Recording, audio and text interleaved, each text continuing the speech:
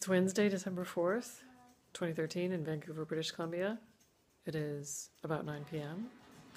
Inside, 20 degrees. Outside, negative 2 degrees. But that's Celsius because we're in Canada, you know.